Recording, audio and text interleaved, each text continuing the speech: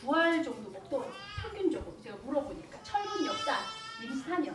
근데 한 5년 지나고 나니까 한 다섯 알에서 두알 사이로 왔다 갔다 먹는 걸 보게 된 거예요. 이상하다. 그래서 물어봤어요. 먹으니까 좋아? 아니 선생님이 먹으라고 하니까요. 막 이러는 거예요. 근데 최근에는 다섯 알에서 열알 사이를 먹는 거예요. 유산균은 기본이고요. 종합 비타민 먹고요. 비타민 D는 꼭 먹어야 된다고 하고 오메가는 귀신 뭐 거지도 먹어야 된다고 하고 하니까 보니까는 다 먹게 되는 거예요. 아 왜 이렇게 먹지? 근데 제가 먹게 됐잖아요. 영양제는 알약의 형태를 가지고 있는 식품이에요. 식품이라는 건 알고 계시니까. 자 그런데요 영양제를 먹지 않아도 되는 사람이 있다는 거 혹시 알고 계세요? 아 모르셨어요?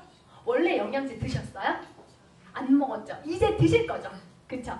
자 이제 드실 거예요. 근데 안 먹어도 되는 사람이 있어요. 여기에 오늘 부합되시는 사람은 유산 안 드셔도 돼요.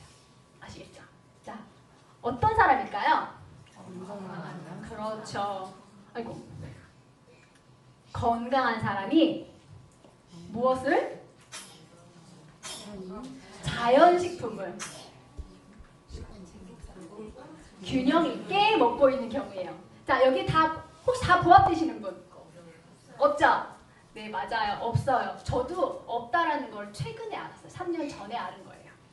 그러면은 건강이라는 게 뭔지 한번 짚고 가는 게 되게 좋을 것 같아요. 건강이라는 거는 세계보건기구입니다. 질병이 없거나 허약하지 않은 것만 말하는 것이 아니라 신체적, 정신적, 사회적, 영적으로 완전히 안녕한 상태라고 해요. 우리는 하루가 다르게 불안정하잖아요. 그렇죠? 그리고 자연식품은 자연적으로 자란 재료를 사용한 식품 또는 농약이나 유해 성분에 오염되지 않은 유기농 식품이에요. 자, 자연 드림을 이용한 저에게 자연 드림에 있는 식품은 농약이 안 들어가 있을까요? 어, 없어요. 저희 아버지 농사 지으시거든요. 농약 안 하고 비료 안 하는 거 없습니다. 안 했다 치더라도 정말 안 했다 치더라도 비와 공기와 중국의 미세먼지 없습니다. 실제로 균형 있게라고 하는 것은 5대 영양소를 골고루 자 제가 산모들을 상대하잖아요. 산모들을 상대하는데 엄마들이 아기 낳고 아기 키우면서 젖 먹이고 분유 먹이고 하면서 밥 먹을 시간이 잘 되나요? 안 되죠. 그래서 엄마들한테 물어봐요. 하루 몇 끼 먹어? 그러면 아, 두 끼, 한 끼 이래요. 그러면 미역국에다 밥 말아서 김치라도 먹어. 이러면 죽어라고 얘기했거든요. 그리고 뭐 밥을 먹어. 밥은 마시는 거야. 라고 교육할 정도로 엄마들이 식사를 제대로 못해요. 5대 영양소를 챙겨 먹기는 더없이 어려운 일인 거예요. 자 그러면은 왜 우리가 비타민을 먹어야 되는지 한번 짚고 넘어가야 될 것 같아요. 아까 말씀하셨어요.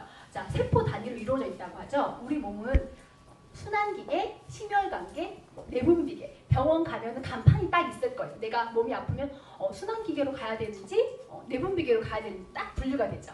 그 내분 그, 내- 그 계통에서 어, 한 장기로 이루어져 있어요. 조, 조, 작게 나눠지면 뭐 소장, 대장, 십이지장, 간 뭐 이렇게.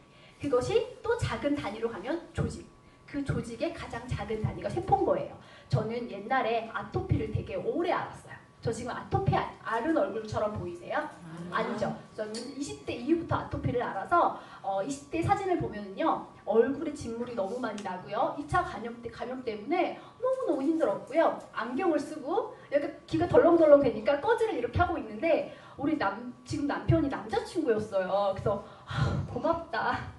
헤어져지지 않고 나랑 사귀어졌어. 몰골이 이런데 막 그런 마음이 들었어요. 그쵸? 너무 감사하죠. 그러니까 그런데 감사해요. 그런데 지금은 예뻐졌잖아요. 피부 깨끗하잖아요. 아무도 몰라요. 어. 자, 근데 그때 병원에서 제 아토피가 있는지 왜 아토피가 생기는지 원인을 찾으려고 여기 살을 딱 떼갔어요. 떼가서 검사를 한 거예요. 검사를 했는데 결과가 뭐- 뭐였는 줄 아세요? 염증. 아토피는 풀네임이 아토피성 피부 염이에요. 염증이네? 그래도 원인이 뭐지? 하고 딱 떼봤더니 염증이네? 발견을 하지 못한 거예요. 과거의 과학으로는. 그러나 10년 사이에 과학은 발전했고 원인을 찾은 거예요. 그걸 봤더니 세포 단위만 본 게 아니라 분자 단위까지 이렇게 봤더니 아 활성산소라는 게 있는데 그게 염증을 일으키는 원인이구나 라고 이제는 밝혀냈고 그 단위에서 해결을 하다 보니까 제가 피부가 건강해지고 예뻐지게 된 거예요. 그쵸? 자, 자, 세포 단위에서 이렇게 한다고 했어. 근데 전문가들이 얘기를 하는 거예요. 질병이 생기는 원인은 딱 세 가지가 있다. 주요한 원- 원인. 바로 과도한 스트레스로 인한 활성산소예요. 그래서 스트레스 안 받고 난 너무너무 행복해. 없으시죠? 자, 혹시 싸움과 도주의 반응을 알고 계세요? 들어본 적 없으시죠? 싸움과 도주의 반응. 제가 간단하게 설명을 드릴게요. 자, 제가 호랑이를 만난 거예요, 어머니. 호랑이를. 그럼 너무 스트레스를 받는 거야. 잡아 먹힐 수도 있잖아요. 그렇죠? 그럼 머리로 생각을 해야 돼. 피가 막 머리로 가죠. 그리고 도망을 가야 돼. 어떡하지? 피가 근육으로 막 가는 거야. 근데 어디로 가요? 심장으로 막. 그렇죠? 그런데 이런 상황에서 밥을 먹어야 돼요, 안 먹어야 돼요? 밥 먹을 수 없죠. 그러니까 위 기능으로는 피가 안 가는 거예요. 응급 상황이니까 손끝, 발끝, 말초로는 피가 안 가는 거예요. 근데 현재 우리는 호랑이를 만나진 않았지만 그러한 극도한 스트레스를 받는 상황에 놓여 있기 때문에 어 피가 말초로 가지 않으니까 머리 빠지고 수족 냉증도 오고 자궁으로 피가 안 돌고 하는 상황이 발생하게 되고 아 소화가 잘 안 되고 자꾸 체해요 하는 건 그런 싸움과 도주의 반응에 놓여 있는 거예요. 그렇죠? 우리 몸은 항상 그리고 다양한 환경 변화예요.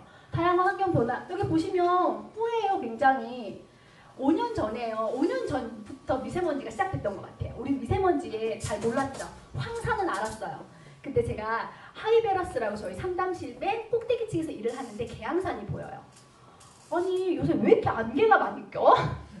안개인 줄 알았어요. 근데 안개가 아니라는 걸 알게 됐죠. 너무 많이 끼는 거예요. 근데 앞으로 더 더러워질 거라고 하잖아요. 근데 하- 미세먼지가 딱 했을 때 어, 코를 막았어요 사람들이. 한참 코를 막았죠. 근데 지금 뭐라 그래요? 코 막아도 소용없다고 하잖아요. 피부로 다 뚫고 들어온다고 하니까. 자, 미세먼지는 중금속입니다. 중금속은 호르몬의 교란을 일으키고 갑상선암이나 다른 질환을 유발시켜요. 그 다음에 두 번째는 약물의 오남용. 제가 병원 생활했지만 아 심각하다. 아 우리 가족은 저렇게 안 하고 싶고 나는 저런 치료를 안 하고 싶다 할 정도로 약물의 오남용이 너무 심해서 내가 잘 알지 못하면 심각하게 어, 약물의 오남용 상태에 놓이게 됩니다. 그리고 환경 호르몬. 다양한 환경 호르몬 아이들 요즘 성조숙증 많이 생기죠. 그 다음에 어, 여성 질환, 경피도. 자 우리가 먹고 쓰는 거는요. 똥오줌 나오거나 간에서 해독하거나 토해버리거나 해서 배출이 돼요. 그쵸? 그러나 우리가 먹, 얼굴에 바르고 머리를 씻고 몸에 바르는 거는 바로 흡수예요. 그 경피도 기술 굉장히 무섭기 때문에 요새 사람들은 똑똑하기 때문에 막 이런 찾아보고서 저 건강한 거 쓰려고 되게 노력하시잖아요. 자 그리고 다양한 환경의 변화들. 자 옛날의 식품이 지금의 식품과 똑같은 영양분을 가지고 있지 않다라는 거죠. 어, 자 보세요.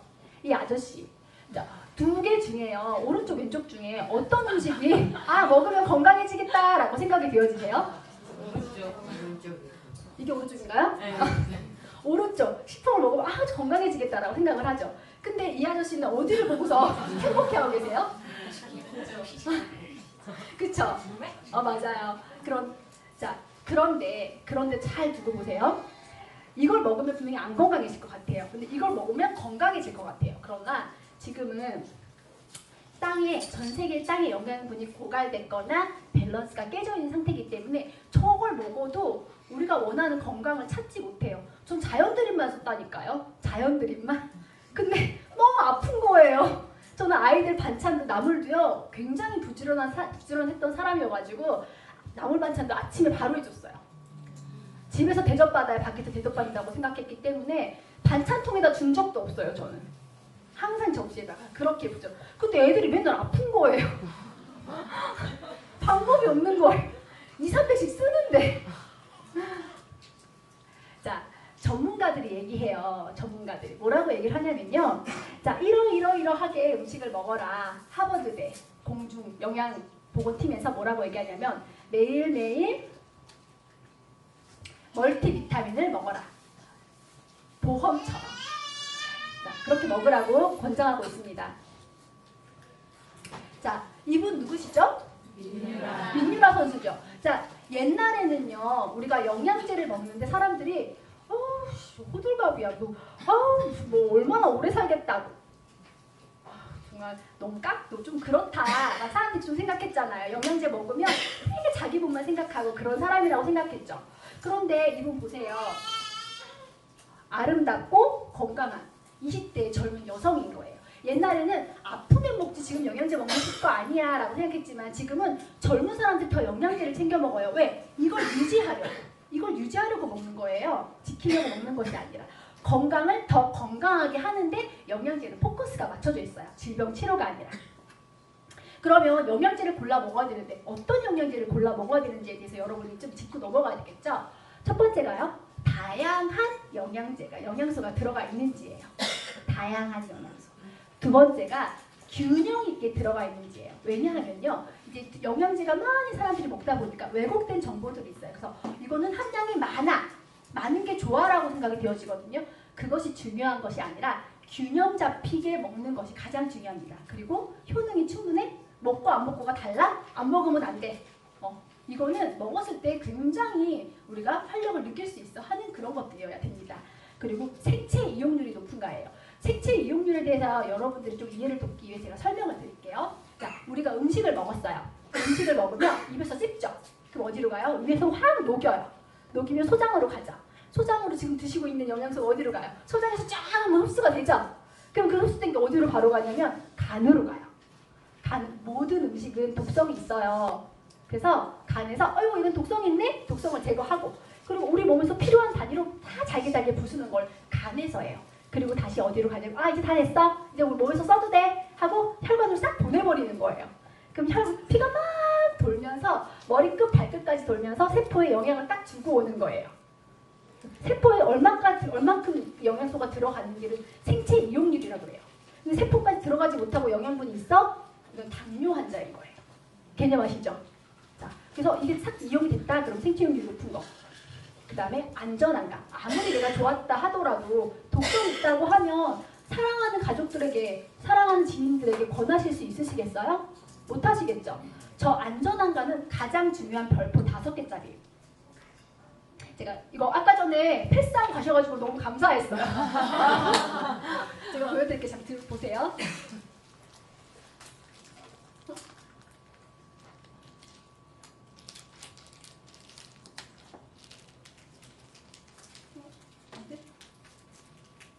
되는 것 같아요.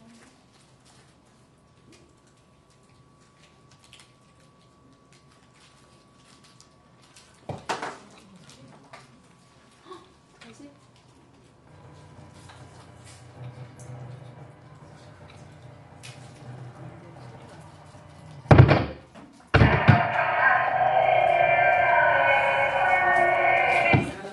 자, 내 몸 사용 설명서 이제 오늘 톡방에 보내시면 각그 초대하신 분들한테 한번 보세요.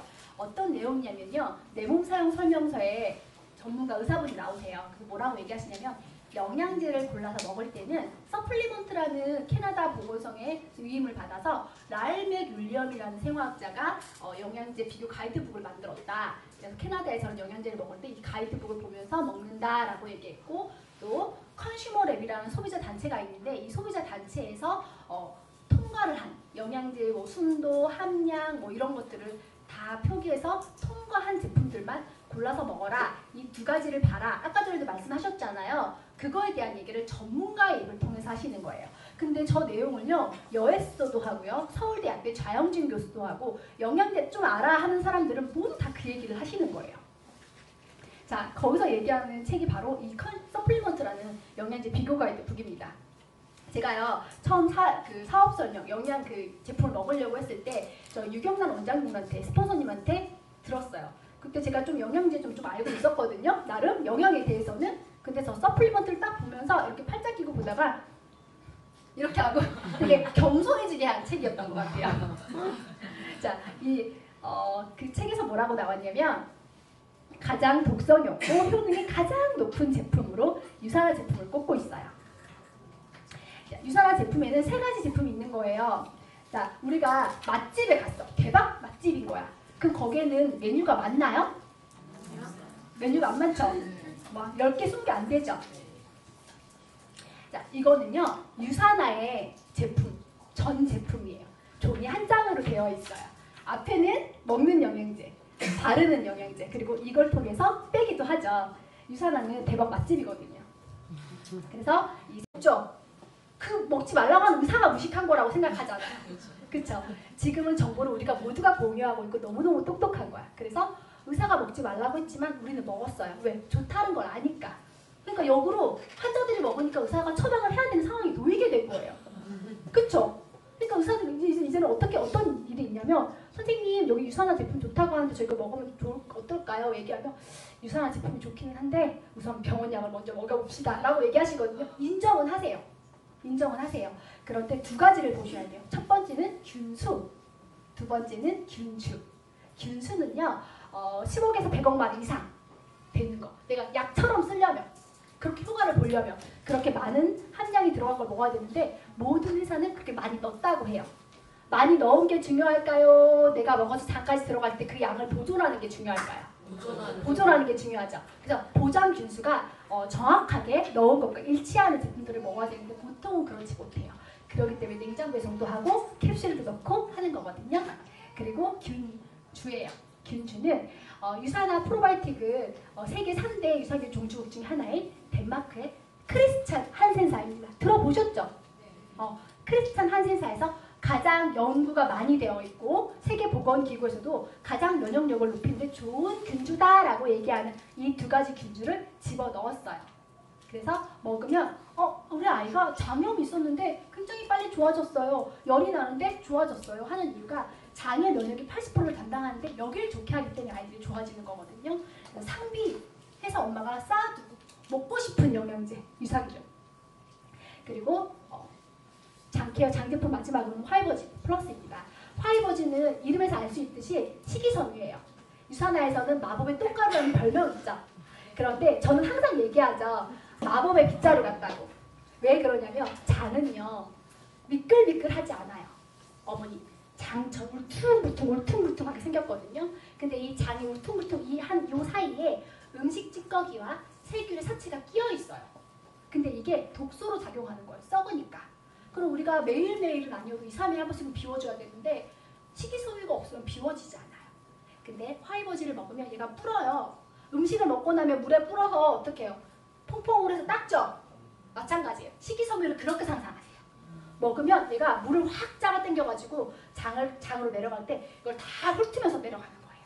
그래서 그동안 내가 보지 못했던 거를 저 화이버지가 다 보여주는 거예요. 그 나이 드신 분들은 특히 장벽이 말라있기 때문에 특별히 챙겨 드셔야 되는 제품. 내가 피부가 촉촉해지고 싶다? 그럼 특별히 챙겨서 드셔야 되는 제품 중에 하나입니다. 그리고 가장 남들에게 먹여봤을 때 빠른 효과를 볼 수 있는 게 식이섬유예요. 그리고 뉴트리빌. 뉴트리빌은 어, 다이어트 할 때도 도움이 되지만 살을 찌울 때도 도움이 되고요. 아이를 성장시키는 데도 도움이 돼요. 자, 이렇게 생각해요. 저희가 비타민 사업을 하니까 사람들이 비타민만 중요하다고 생각해요. 근데 비타민이 부족하면 감염성 질환이 생길 수 있어요. 그런데 이 대량 영양소가 부족하면 죽을 수 있어요. 굶어 죽을 수 있어요. 자, 너무 중요하기 때문에 사람들이 얘기하지 않는 거예요. 꼭 먹어야 되는 거예요. 그렇죠. 그런데 다이어트 할 때에도 세계보건기구에서는 235에서 300칼로리 이상은 맞춰라. 그렇지 않으면 기초 대사량이 떨어져서 나중에는 조금만 먹어도 살이 찐다 라고 얘기하고 있기 때문에 유산화는 아까 얘기하셨던 것처럼 건강에 기반한 의사잖아요. 딸기맛, 바닐라맛, 초코맛 있어서 어린아이한테 줘도 돼요라고 하지만 저희는 보통 이유식하고 밥 먹으면 보통 주거든요. 딱히 알러지가 있지 않는 한. 그래서 모든 사람이 두루두루 먹을 수 있는 제품입니다. 그리고 프로틴. 프로틴, 단백질은요. 여러분 근육만 만들 때 쓰일까요? 아니에요. 우리 몸은요. 머리카락도 단백질이고요. 피부도 단백질이고요. 소화 효소도 단백질이고 뼈도 단백질이에요. 우리는 단백질 덩어리로 만들어져 있죠. 그래서 어린아이들에게 성장을 위해서 단백질을 권하고 싶은데 고기를 먹을 때는 좀 값이 많이 나가잖아요. 가성비 값으로 뭐 제품을 먹일 수 있기도 하고 여에서는 피부 트러블이 있을 때는 단백질을 더 섭취해라 라고 얘기해요. 그래서 내가 지금 피부에 문제가 있다 그럴 때는 단백질을 더 섭취하시는 게 여러분의 피부 건강에도 도움을 주실 수 있을 것 같아요. 자 이제 비우고 채웠으니까 아름다워져야 되잖아요. 셀라비브 화장품이에요. 자 유산화는 건강을 기반으로 한 회사고 건강을 추구해서 영양제를 만드는 회사인데 왜 화장품을 만들었을까요? 맞아요. 자 유산화는 음, 피부는요 우리 면역의 최전방이에요. 모든 환경 호르몬 미세먼지를 방어하는 기관인데 그거를 어, 아까 전에 얘기했던 경피도 20년 전에 우리는 파라벤에 대해서 전혀 알지 못했을 때 존슨즈 베이비 로션 막 쓰고 그랬잖아요. 근데 유사나는 어, 유사나는 파라벤이 나쁘다라는 걸 이미 그 전에 안 거예요. 너무나도 빠르게. 그래서 파라벤 없는 제품을 만들었어요. 근데 그것을 뛰어넘어서 이제는 좀 더 차원적인 단순히 화장품의 개념이 아닌 영양제의 개념으로 들어가자라고 해서 피부에 바르는 영양제로 이해하시면 되게 좋을 것 같아요. 전 세계 화장품 트렌드가요. 세포에 영양을 주는 트렌드로 들어가고 있대요. 세포에 영향을. 그래서 세포에 막 뭘 주고 싶어서 굉장히 많은 노력을 하고 발악을 하지만 그렇지 못하대요. 그러나 유산화는 세포에 영향을 주는 데서부터 시작한 회사예요. 영양제가 96.1%의 생체 이용률을 가지고 있죠. 화장품도 그렇게 생각하시면 돼요. 세포에 그냥 들어가는 거야. 그러니까 내가 화장품을 바르면 번들번들거리고 전 세계의 화장품 트렌드가 화장을 하는 트렌드가 물광 화장품이잖아요. 근데 근데 물광 화장을 하면 어때요? 머리카락이 막 이렇게 붙어가지고 있잖아요. 그런데 유사나의 화장품을 쓰면 피부가 건강해지고 세포가 건강해지기 때문에 자체적인 빛이 나는 거예요. 저 지금 빛이 나나요? 네. 그렇잖아요. 왜냐하면 세포를 건강하게 하고 있기 때문에 그런 거예요. 그리고 어, 보시면은 케이스가 되게 단촐하잖아요. 그래서 모르시는 분들은 되게 촌스러워요 라고 얘기를 한대요. 근데 선진국에서는 hygge life라는 이 라이프 스타일이 굉장히 유행을 하면서 화려한 거, 막 거창한 것보다는 심플하고 여행할 때도 다니, 가지고 다닐 수 있게 그런 디자인으로 만들어지는 게 유행인데 그걸 앞서가는 디자인이라고 해요. 이해하셨죠? 보니까 되게 멋있는 제품인 거죠. 자 그러면은 이거 간단하게 넘어갈게요. 인셀루전스 기술도 들어가져 있고 네, 여러 가지 식물 추천도 들어가져 있고 어, 올리볼 아까 영양제도 들어갔던 올리볼이 화장품도 들어가 있는 거예요. 자, 아까 전에 그 피부에 깊숙이 흡수돼서 겉도는 거 없이 어, 쫀쫀하게 사- 사용을 해봤더니요. 70%가 수분 손실이 어, 잘안 되지 않았고 그 다음에 수분 지수가 올라갔고 피부의 탄력이 올라갔다라는 어, 테스트 결과가 있고요. 파라벤 프리가 됐다라는 거. 제가 이거는 간단하게 예를 드릴게요. 신, 그 식용 식용 참기름 짜보신 적 있으세요? 참기름을 짜면요 찌꺼기가 껴요. 근데 도시 사람들은 지저분하다 버리라고 그래요. 그런데요 모든 씨앗은요 자기를 보호하기 위한 항산화제가 들어있어요. 그렇죠. 그러니까 씨앗을 짜니까 씨앗 자체에 항산화제가 있는 거예요. 그래서 참기름이 상하지 않게 하는 거예요, 어머니. 그쵸? 맞아요. 어, 어머니 보니까 되게 편한. 자, 그래서 사실은 버리는 것이 아니라 흔들어서 먹어, 먹어야 되는 거고, 어, 맞아요. 참기름을 상하지 않게 하는 거야. 유산화는 항산화 전문 회사예요. 그래서 항산화제가 듬뿍 들어있기 때문에 파라벤이 들어있지 않고도 2년 동안의 유통기한을 지킬 수 있는 거예요. 자, 화장품도 마찬가지예요. 제가요, 원래 유사나를 처음 접한 게 어, 3년 전이 아니라 저기 뒤에 있는 저희 강영심 스폰서님이 저에게 유사나를 전달하고 싶은 거예요. 근데 제가 면역력이 너무 안 좋아서 하포진도 있었고 피부 트러블이 되게 많았었던 상태예요. 그러니까 얼마나 좋은 화장품을 써보려고 노력했겠어요. 그때 저에게 선물했던 게 여기 보시면은 shower gel 하고 body nourisher를 저한테 선물한 거예요. 그래서 제가 써보니까 어? 이건 다른데? 겉도는 느낌 없이 싹 흡수가 되고 몸이 쓰셨더니 건조함이 하나도 없네? 근데 달라고 하면 사업을 하자고 할 것 같고 나는 관심은 없고. 그래서 저기 뒤에 계신 분한테 1년 동안 사봤었어요. 제품을. 넉넉하게 사봤었어요.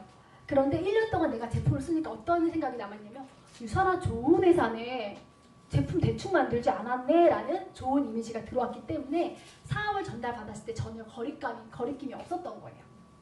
그래서 어린아이, 남녀노소 동- 다 막론하고 쓸 수 있는 제품. 우리가 어린아이 제품, 어른 제품 얘기하는 거는 파, 그 첨가물이 더 들어가냐 덜 들어가냐의 차이잖아요. 여기는 다 쓸 수 있어요. 건강하게. 그리고 피부에 바르는 영양제라는 거를 절대 잊어버리지 않으시면 좋을 것 같습니다. 자, 이렇게 해서 유산화 제품은 다 소개가 됐고요. 사실 되게 짧게 얘기한다고 얘기했지만 되게 많은 것 같죠? 근데 제품 어때요? 다 먹고 싶지 않으세요? 공짜로 200만 원어치 먹고 싶지 않으세요? 자, 그런데요. 모든 회사가요. 영양제를 설명하는 건 다 똑같아요. 지금 저처럼. 차별성이 있어야 되지 않겠어요? 간단하게 설명드릴게요. 유산화 제품 중에 이 제품, 제가 여기다 나와둔 제품들은 특별한 제품들이에요. 더. 뭐가 있을까요? 인셀전스. 여기 보면 보면은 초록색 여의주가 들어가 있죠. 이것은 무엇이냐면 어, 이것만 알면 유산화는요 다른 거 얘기할 게 없어요. 이거가 있기 때문에 유산화가 특별한 거거든요. 바로 인셀리전스라는 기술력인데 어, 6판 보셨죠? 오늘 가서 뒤에 있는 내용을 확 훑어보세요. 이런 얘기가 나와요. 아주 최근의 과학적 증거에 따르면 대부분의 식이항산화제, 먹는 항산화제가 우리가 생각하는 대로 작동하지 않는다는 사실이 입증되었대요. 과학적으로. 생물학적으로 강력, 생물학적으로 항산화제는 공적지역이고 강력한 활성산소에 직접 맞서는 것이 아니라 그러니까 항산화제를 먹어서 활성산소를 제거하는 것이 아니라 세포 자체의 헤비건, 세포 자체를 활성화시켜 주어야 된다. 이 말이 무엇이냐면 유산화의 인셀리전스를 설명하는 내용이었던 거예요. 좀 깜짝 놀랐어요. 왜냐면요, 유산화는 미국 회사죠. 얘는 캐나다에 만들어졌고 과학자들이 만든 책인데 어떻게 유산화의 인셀리전스를 저렇게 설명해놨지라는 사실 그 생각을 했어요. 인셀리전스는 치- 찍으세요. 보세요. 자, 항산화제는요, 항노화와 관련이 있고요. 특히 인셀리전스는 더 이것과 관련이 많다라는 거 기억하시면 되게 좋을 것 같아요. 자, 아까 말했던 영양 보호 활력 이 세 가지를 주고 있고요. 나쁜 독성을 만드는 게 활성산소예요. 독소가 활성산소 얘는 제거해야 돼. 근데 예전에는 활성산소 항산화제 하나를 먹어서 활성산소 하나를 죽였다고 하면 지금 그 개념이 아니라는 거. 자, 예전에 항산화제예요. 예전에 항산화제. 예전에 항산화제로 나쁜 활성산소를 제거하는데 어떻게 제거했냐면 야! 하고 제거한 거예요. 그러면 내 몸에 내 몸에 활성산소가 100개, 1000개 있으면 항산화제를 100개, 1000개 먹어야 되는 거야. 드실 수 있어요, 어머니? 못 드시죠? 돈이 없어서도 못, 드- 못 먹지만 소화가 안 돼서도 못 먹어요. 그렇죠? 그런데 과학이 발전한 거야. 힘을 키운 거예요. 세포의 힘을 키운 거야. 그랬더니 얘가 세포에서 항산화제를 만들어내는데 한 번 딱 힘을 줬더니 야! 세포에 세포의 활성산소를 확 제거해버리는 거예요. 이해하기 쉽죠? 무슨 말이냐면 자 제가 항상 이거 똑같이 자 제가 세포를 일셀전스가 기술력이 있는 제품을 막 먹어서 이 세포를 똑똑하게 건강하게 키웠어요. 그랬더니 얘가 옆에 세포한테 야 일어나 전화를 거는 거예요. 그때 얘는 똑똑 건강해진 거야. 그때 옆에 세포가 야 너도 일어나 깨어나 너도 기능해. 자 너도 일어나. 자 어, 다안 내려갔네. 어, 자 우리가 주로 보던 뭔가 같죠? 아, 주로 보던 뭔가 같죠? 근데, 근데 잘 보세요. 나는 세포 하나를 깨웠더니 걔가 전방위적으로 나의 몸을 건강하게 만드는 그 기술력이 유산화의 기술력인 거예요. 특별하죠? 네. 특별하죠? 왜안 왜 안 들어갈까요? 자, 이 미국에 있는 과학자분 다 끝났어요? 미국에 있는 과학자분이 유산화의 인셀리전스 기술력을 이렇게 설명하셨어요. 인간에게 물고기 한 마리를 주면 하루를 살지만 물고기 잡는 법을 알려주면 평생을 먹고 산다. 세포를 건강하게 하며 세포가 우리 몸을 스스로 좋아지게 만든다. 겉모습은 비슷하지만 그 속까지 똑같을 수 없습니다. 유산화는 특별합니다. 감사합니다.